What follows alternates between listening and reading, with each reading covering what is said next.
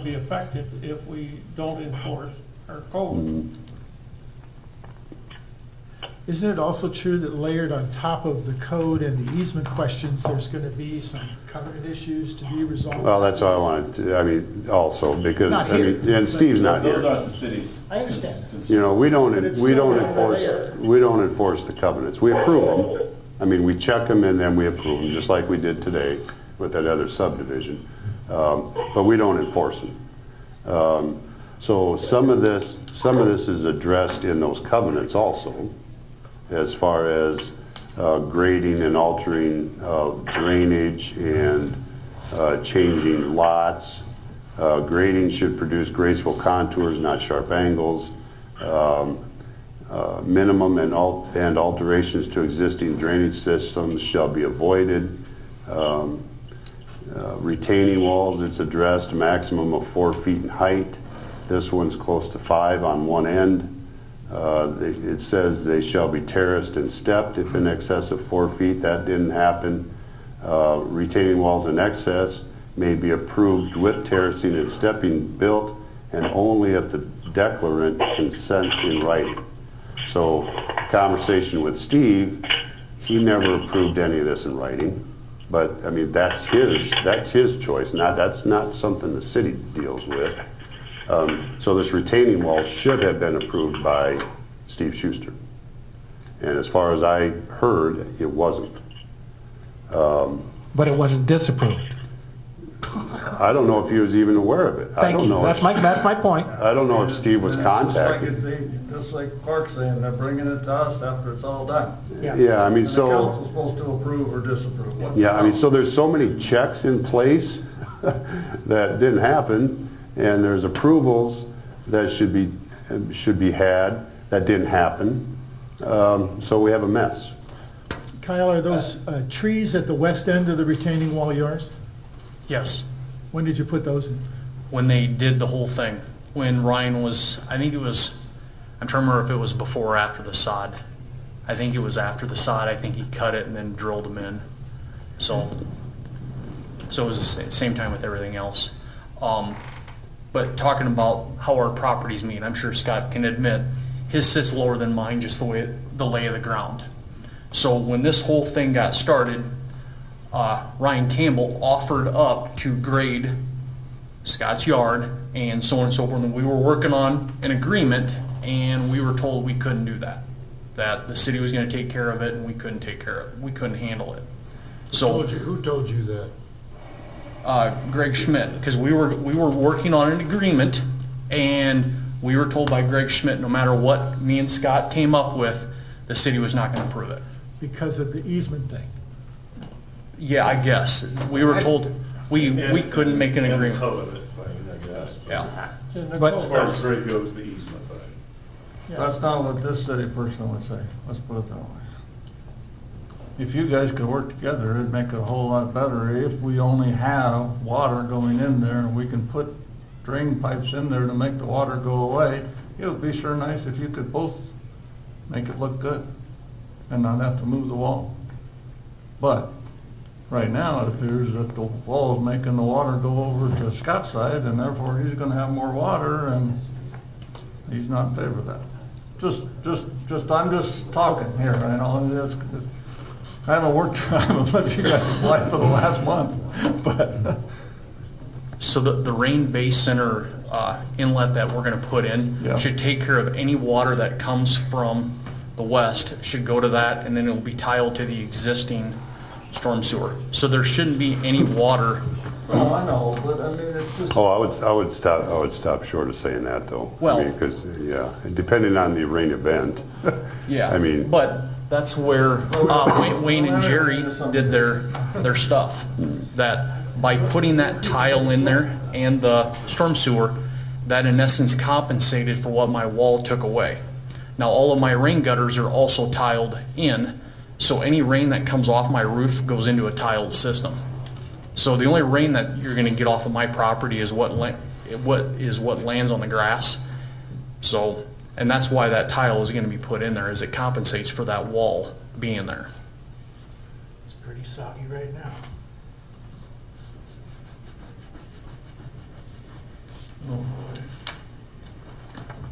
Just to clarify things, the main reason this is in front of the council, yes, it has to do with drainage. However, that has somewhat been taken care of through the two different engineers and working with Jason and, and the parties. The second part of this is that we have a separate code section, which is referenced, one sixty-five point two three. And that deals, specifically states the last sentence, no buildings or structures will be permitted on easements without authorization of council. This is a utility and a drainage easement. That is why Jason brought it to the council.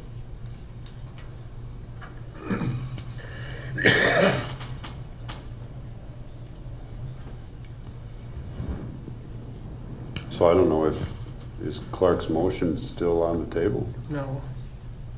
No, if it is. We made actually a second motion about tabling, as opposed to agenda-driven, whatever. He suggested to table, there's been no motion to table it, no formal motion. Is- So, so we're dealing with the utility part is the reason why it's here. Well, I feel, I mean, yeah. They're interrelated. I mean, Yeah, they're but definitely it's, related. but what, let's just be clear, it's utility driven. But then it's also driven by whether a five-foot, six-foot wall that's partly in the ground is a structure or not. And whether the city should have figured this out before the last few weeks. Right? And all the time I sit here, and especially the last few years, I just try to make everybody happy, and it's damn near impossible on something like this. So that's why I was thinking, why didn't they, couldn't they work together? And then I hear that the city said they couldn't work together, and it just perturbed me. That's really what we said. Well, and to allow them to work together, I mean, that'd be harmonious and great to allow that to happen, Rex, but the wall built is, is a violation of the code. If we allowed it to be built, and we knew it was being built, then we violated it by not stopping it when it was getting built. And Ryan also built it wrong if he built it on easement and he knew it was an easement. So I got plenty of blame to go around here. I would make a motion at this time to order the retaining wall be removed on four, on four sixty-nine Twentieth Street Southeast. And removed by the owner and maintain the utility drainage easement added as is. That's my motion. I'll second that. Motion made and second to allow the retaining wall at four sixty-nine, First one. excuse me, motion to order the retaining wall located at 469 20th South Street Southeast be removed by the owner from the utility drainage easement and the easement be restored to its original design condition, designated condition. The motion second. Is there, is there a roll call on that? Don't have to, huh? It'd probably be preferred. So let's call the roll. Roll call. Bev? Knapp, No, Goodchild,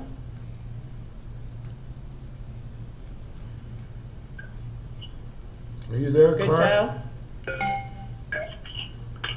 Hello, hey guys, I got knocked out. Where am I at? Say yes or no. Well, you better- yes removes it, Seriously, Explain, no them. leaves I it cannot in. hear.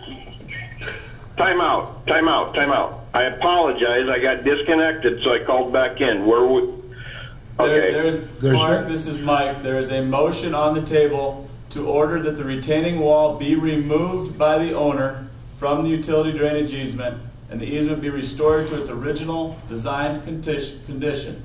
That motion was seconded, and there's been one vote, Rex voted no.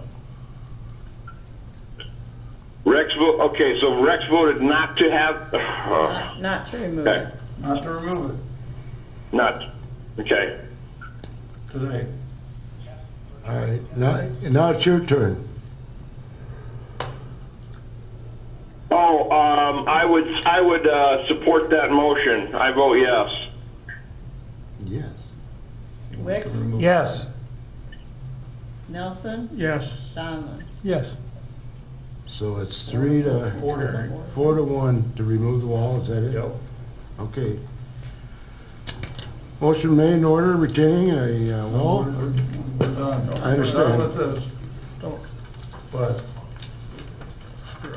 up they, um, So four to, it was four to one. start four to one, but here's, here's my caveat. My caveat is, maybe he can come back with Ryan and come up with a better plan than just removing it.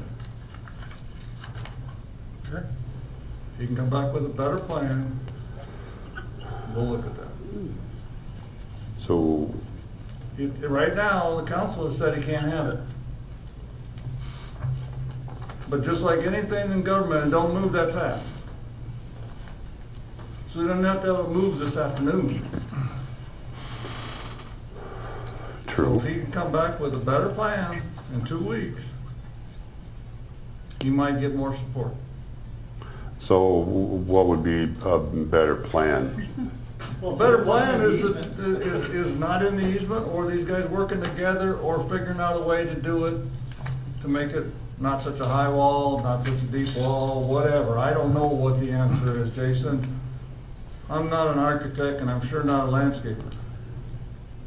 And it'd be good just But- as but a practical matter if the covenant issues were also factored in, because that's still going to be uh, a discussion, isn't it? Yeah. Hey, can I say something?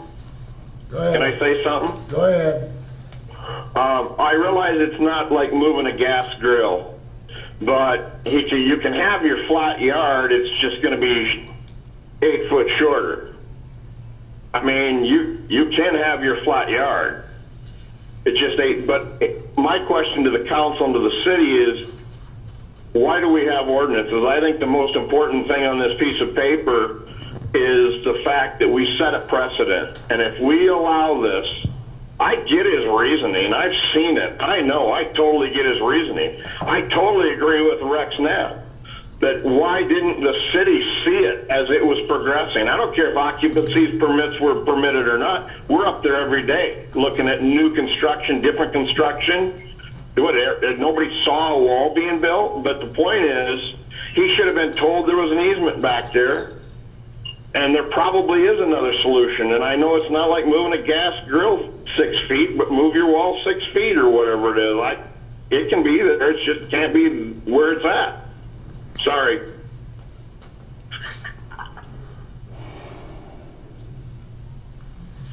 Any suggestions, Mike? I'm just, I'm just saying that there is different ways to get Rome built. So you got some time to make this adjustment because we told you to take it out. And if you come up with a better solution before you take it out, we'll have to look at it. We have to look at it. Because we made this decision.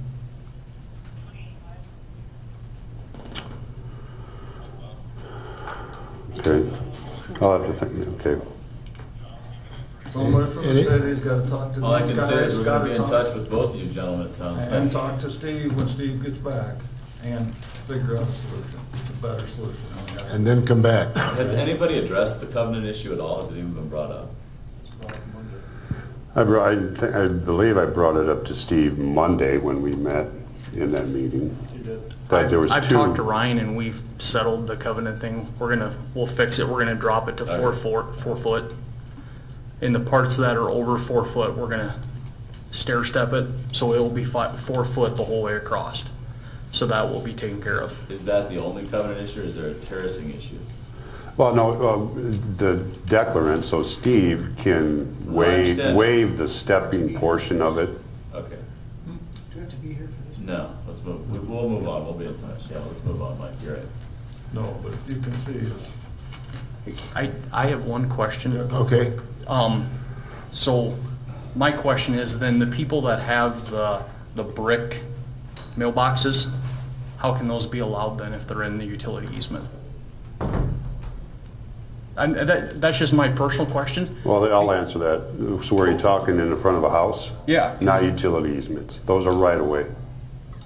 But it's still in the same They're platted as right-of-way, not platted as utility and drainage easements. even though the utilities run underneath of them? True. Okay, They're, they're city right-of-way. Okay. I mean, and right-of-way can have a number of things in it. okay. Um, So, Did that answer your to me, question on that, To me, two different things. Yeah. Two different things.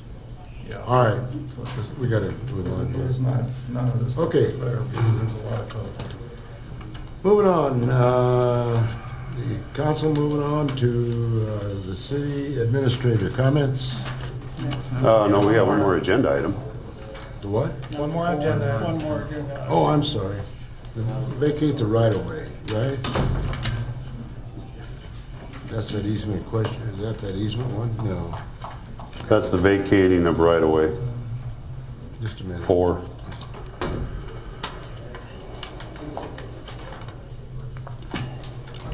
Bear with me.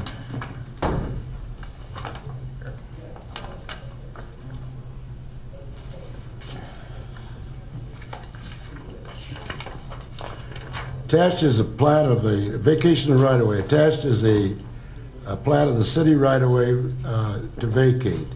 The right-of-way was part of the Dogwood First Addition platting to be a future 20th Street Southeast. Dogwood Second Addition was platted with the alignment of 20th Street Southeast shifted south. With the shift, the city has no need for the right-of-way. The recommendation by the uh, administration is that the recommendation, council established September 15, 2020 for a public hearing for disposal of the property, and the property should return to the owner of Lot 6 of Dogwood Addition. All right, we're in the same area.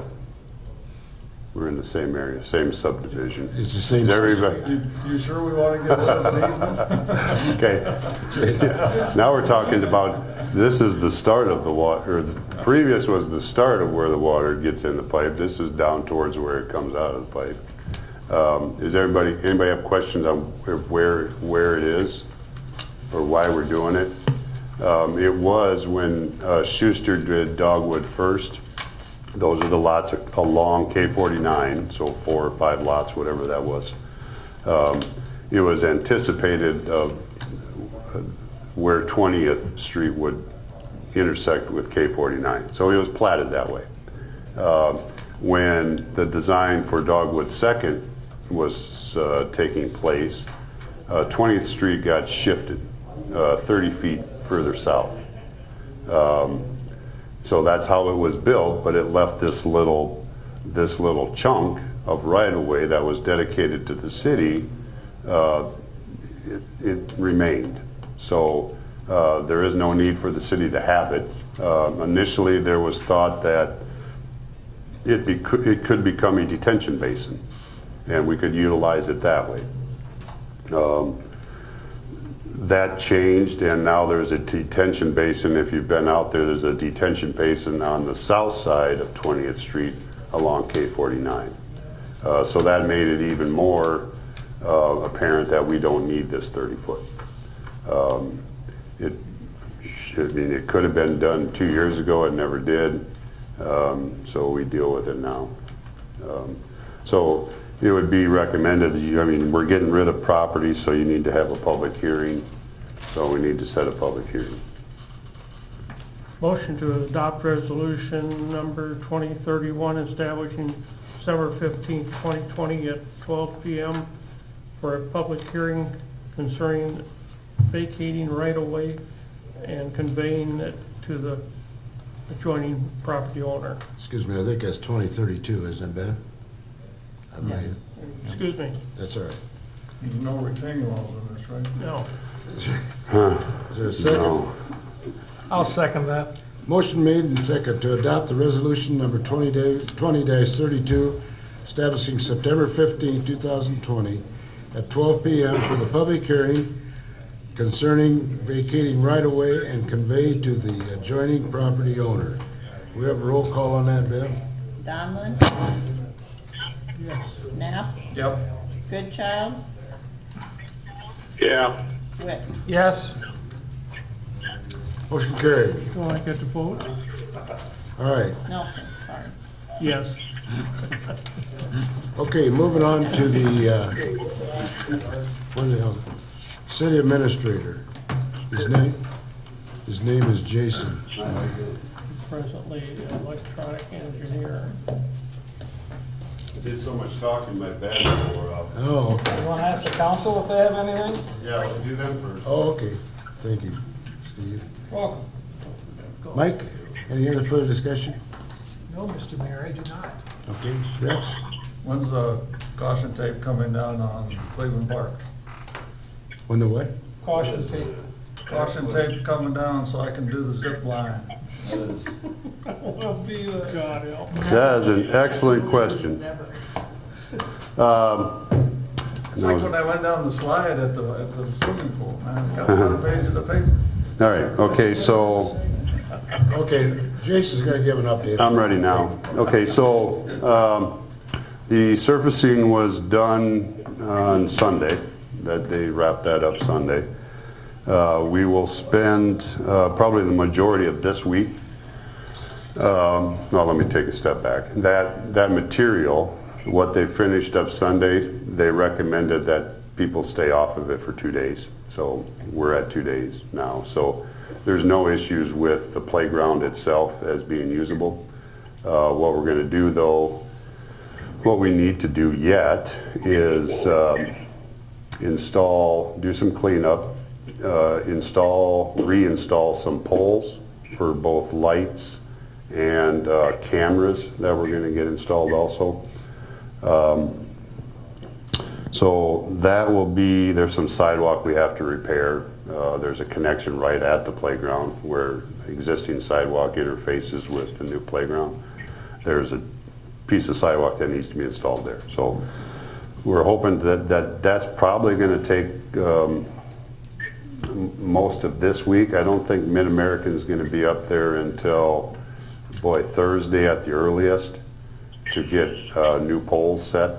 Uh,